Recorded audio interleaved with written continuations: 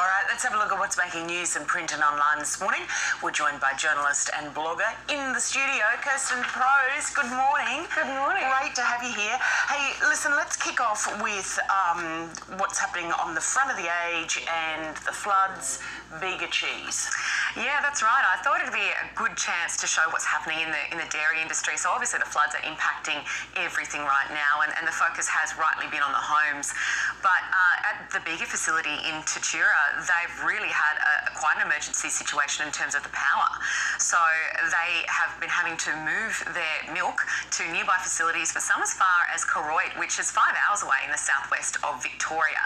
Uh, look, and I checked in with Dairy Australia this morning, and the power is coming back online there, which is good news. But power's a huge problem. Um, you know, for farmers, a, a lot of farmers um, don't have any power. Most farmers will have generators, but it's about 70% of farmers in the north of Victoria that have generators. And so for those that don't, they're having to dump milk at the moment, which is, you know, really disturbing um, to, to pull that down, you know. Yeah, and for people who might not be as familiar as we are with your background, you are a resident of rural Australia, you married a farmer, you are very switched on with what is happening in the regions, and we see the pictures, it's just devastating. And you think about the farmers in those areas as well. We've looked at the towns, but the farmers, that, that's a lot of, that's a repair job that could take a long time.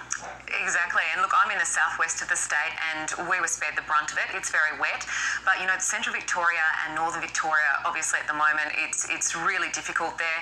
And it's going to be ongoing. Um, we're in that emergency situation right now. And look, Vic Police are, are currently giving emergency assistance to milk tankers and, and, livestock feed trucks that, you know, need to get in at the moment. So between Shepparton and Mooroopna, they're giving escorts. Um, you know, the roads, the floods, it's very difficult to get things through at the moment.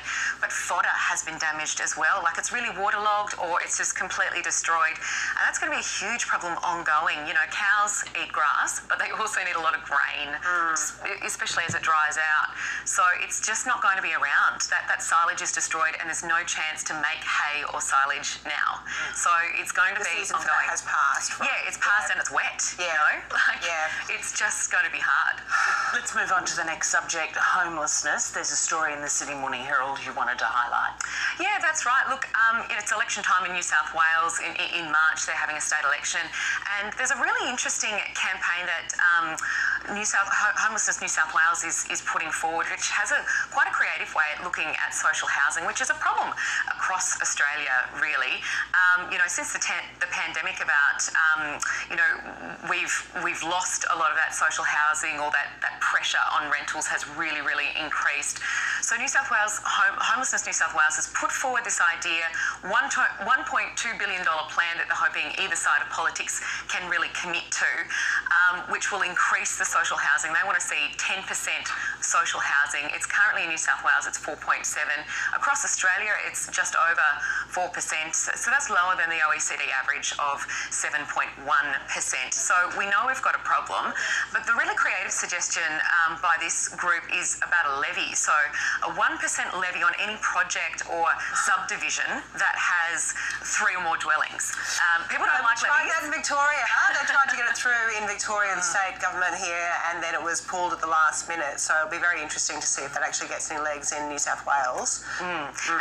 And uh, obviously, the federal government is, is needed in this as well in this plan in, in putting in, in the money. And I think the pressure will be on the federal government really if if this if New South Wales does go down this line because it's the federal government that'll then have to all the other states will be there going, hey, what about us? Let's talk bomb. Yes. what do you reckon?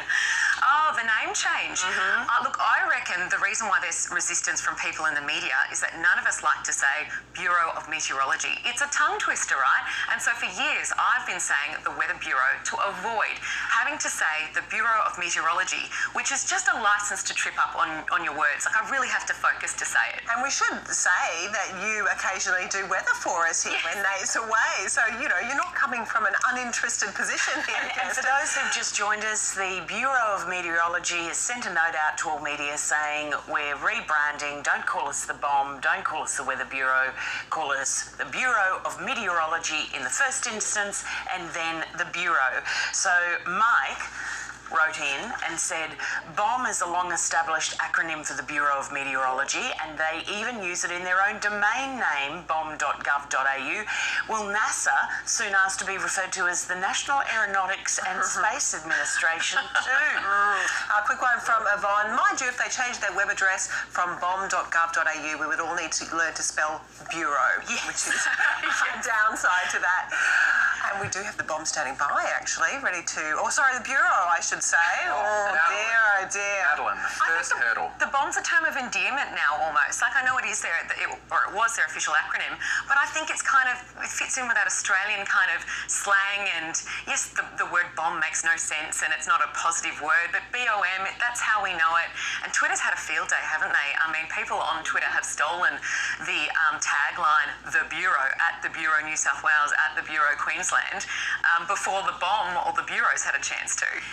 Right. It's a bit of a bombshell. Hey, thanks very much for coming in. My pleasure. Thank you.